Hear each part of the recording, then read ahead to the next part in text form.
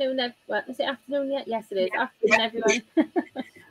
Welcome to uh, this is sort of workshop four. So we're going to jump straight in because I know that we're kind of running out, running down on um, on time.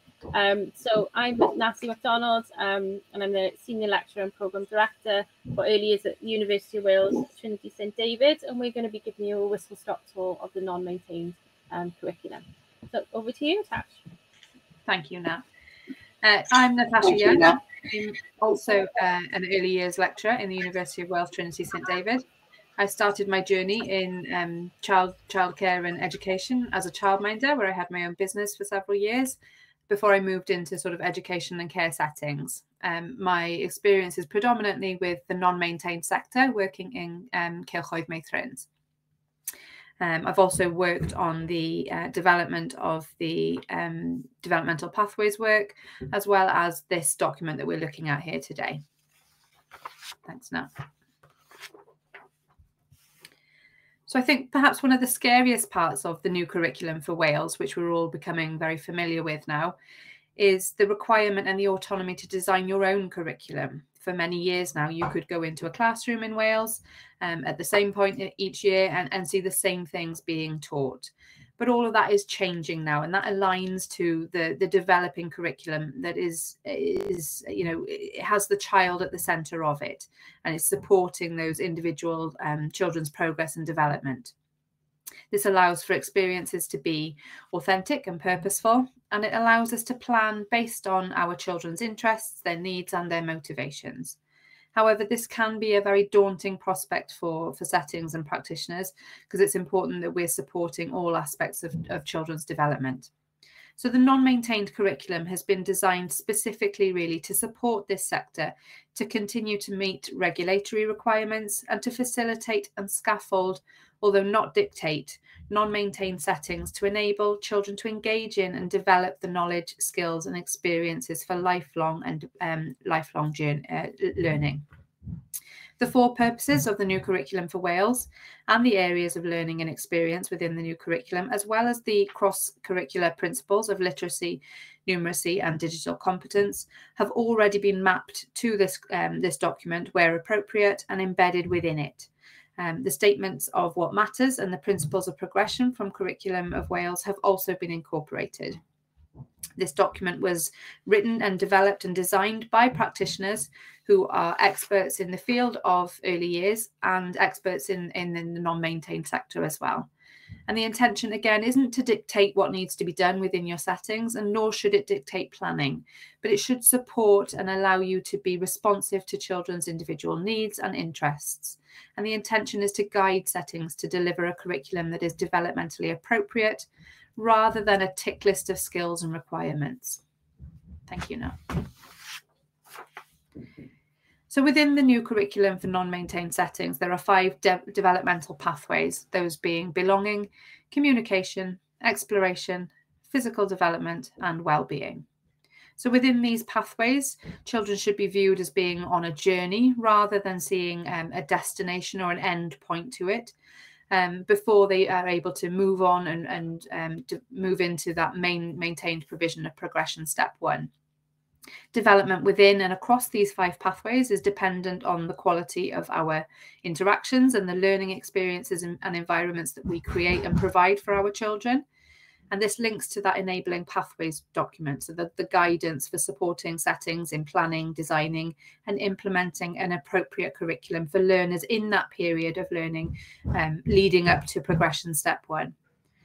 Um, it's about taking a holistic approach to teaching and learning and will ensure that children have opportunities to develop skills across and within those pathways.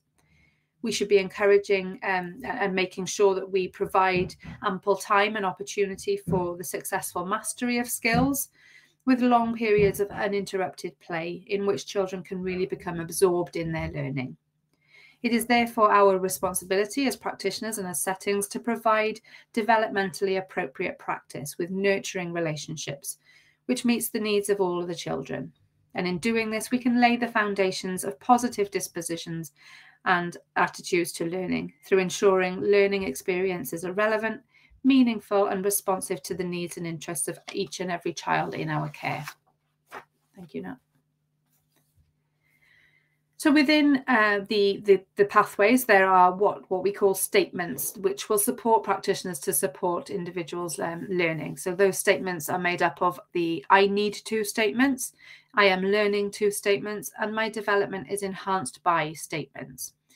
Um, and these statements are written from the viewpoint of the child, and this further identifies with the fact that the child is at the centre of this curriculum. The child's needs and their interests are the driver for what we are doing with our children in our settings, rather than it being the other way around.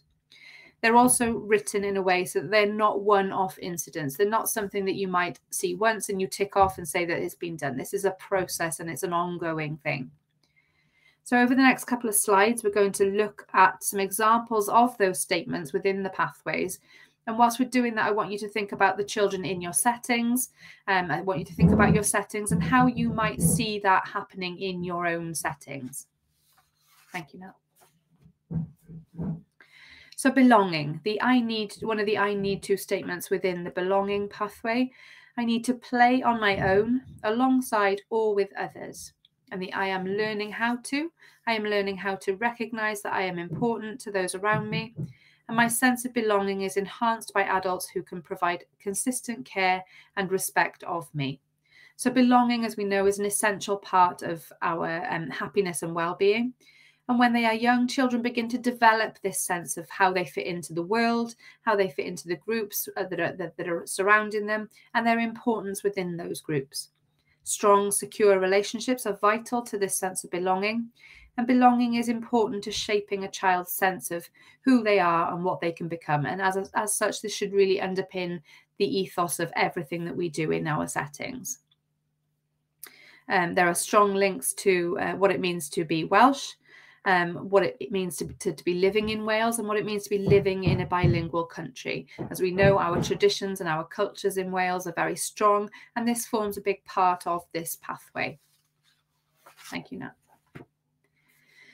Communication. So the one of the I need to statements within this pathway is I need to have time to think and process. I am learning how to develop my attention and listening skills in my play and interactions and my communication is enhanced by adults who support and respond sensitively to my verbal and non-verbal communication. So children need to be able to understand and to be able to make themselves understood in order to learn effectively. Communication involves developing listening and attention skills alongside those vocabulary and speaking skills. An environment that is communication rich will provide children with those opportunities to express and communicate their needs and thoughts and their feelings. Thank you, Nat. Exploration. So one of the I need to statements is I need to explore and investigate and discover. I am learning how to use my mistakes to further my understanding with support. And my exploration is enhanced by adults who observe, notice, and use my fascinations to deepen learning. So we know that children have this natural and innate curiosity about the world around them. And this is a very strong motivator for their exploration and their learning. Children are endlessly curious problem solvers who often find delight and awe and wonder in the everyday occurrences. So, providing children with those opportunities is important. They enjoy exploring and investigating by themselves, but also with others as well. And they're often keen to share their delight in new knowledge or skills and learn from each other. Thank you, Nat. Physical development. One of the uh, statements in the physical development pathway is I need to express myself in large and small spaces. I am learning how to take risks in my physical play. And my physical development is enhanced by adults who can uh, provide opportunities to experience joy in my physical activity. Again, children have this innate need and this natural urge to move both themselves and the things around them, often repeatedly, because this forms part of their development. It involves both gross motor and fine motor manipulation, and opportunities for repetition and variety are critical to development as children begin to explore their increasing physical capabilities. And adults who can share in those experiences are really important. Thank you, Nat. Well-being. So the I need to statement, I need to feel safe and secure. I am learning how to show my likes and dislikes and my well-being is enhanced by adults who listen to my views and trust my choices. So feeling connected and safe and secure are key elements to developing a strong sense of well-being. Adults who create emotionally safe environments can support children in recognizing and managing their feelings and behaviors effectively and in a positive way. And children with secure attachments and relationships can feel confident in themselves and are therefore better placed to make choices. They show greater resilience and independence and can participate positively in everyday activities. Thank you, Nat. Thank you, Tash. Um, okay, so as well as the five de developmental pathways, um, in the document we've got quite a bit in there about observation and assessment, although this is also being um, developed further um, currently um, in sort of Welsh Government working groups. So when we think about um, we know how important that is. So observation and assessment are central points to the non-maintained curriculum and to the success of its implementation as well observation plays a key role in our practice, and it should be grounded in our thorough knowledge of child development, and the child should be at the centre of the process. So, effective observation enables us to analyse what we see and hear and respond in ways that helps children to make progress. Our observations might be planned, specific, or they might be spontaneous um, when something new or significant is noticed that the children are engaging in. Using a range of observation techniques will ensure that we obtain detailed understanding of, of each child. Observations help inform us of children's fascinations and interests. Making the most of these can help extend learning, especially when um, we plan the experiences and the environments for children to explore. And our observations really should be the catalyst for our planning of future learning experiences and environments. Um, observation and assessment are interlinked. Um, as assessment aims to find out what children can do and should be carried out through in-depth analysis of our observations. And we'll have a look um, at an example of one of these next. Assessment plays a fundamental role in enabling each individual child to make progress at an appropriate pace for them, ensuring that they are supported and challenged accordingly.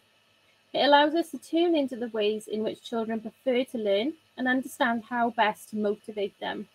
But it's also important that we understand that learning is not linear and different children will progress in very different ways, at very different paces, and in different directions. Assessment should not be a tick list or a one off event, and the non maintained curriculum is written in a way that that is not possible. It should be a continuous process that is useful, manageable, and purposeful, and assessment should be indistinguishable from teaching and learning. We don't have time to go through this, but just to highlight that there is a section in the non-maintained curriculum about enhancing practice um, that provides um, opportunities to reflect on your um, practice in these areas, identify good practice and identify areas for improvement or professional learning as well. And these can feed into your inspection processes, your quality of care reports, um, and so on. These are leadership, physical literacy, inclusion, adverse childhood experiences, schemas, and transitions. So what we're going to do is have a little look at Meg. So Meg is two and a half years old. Um, she is settled and established within her setting, and she has a slight delay in her language development. So her language development is supported within the setting through one-to-one -one targeted language activities with her key worker. Due to Meg's language delay, it could be that we focus quite heavily on Meg's language when we're supporting her learning and development in practice. Um, and we might have a tendency to do that. So things like naming objects, colours, modelling language. What that might do is distract us then from looking at Meg's holistic development. Um, so what we need to do is view Meg as competent and capable, looking at all areas of development rather than maybe focusing on um, her deficits or what she's not able to do um, yet. So what we've got is an example of an observation and assessment written up as a learning story um, using the enabling learning guidance and the non-maintained curriculum with the view of the child or Meg as competent and capable. So what you can see here is that we've um, the observation has been written aligned to those three enablers within the enabling learning. So the enabling environment, experiences, and adults. So the enabling environment, an inspiration to play is set up outside with loose parts such as um, drain pipes, boxes, and balls. The choice and direction of the activity is child-led, with plenty of time allowed for them to engage in it. The experience Meg picks up some of the balls and rolls them down the tubes, letting out excited squeals as the balls, balls go shooting down the tubes. The other children and Meg um, note, and staff notice this and excitedly join in. They spend the rest of the time exploring these ideas. The adult role is important here. So the adult prompts children's thinking and action by using open-ended questions. The staff point out that some balls seem to travel faster down some tubes than others and invite the children to test it out, noticing which tubes are slower or faster and using comments such as, I wonder why this one is slower and what do you think, to Meg and to the other children. Meg responds to this by lifting one end of the tube and making the ball travel faster.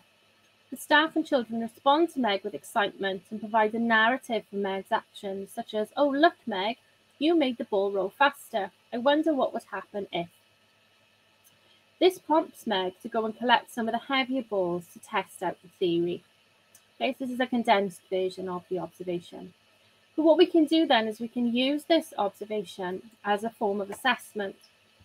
So within um, that observation, what we can demonstrate is we can show evidence of Meg engaging with all of these aspects of the non-maintained curriculum. So we have the cross-curricular skills of literacy, um, uh, literacy, numeracy, uh, digital competence, etc.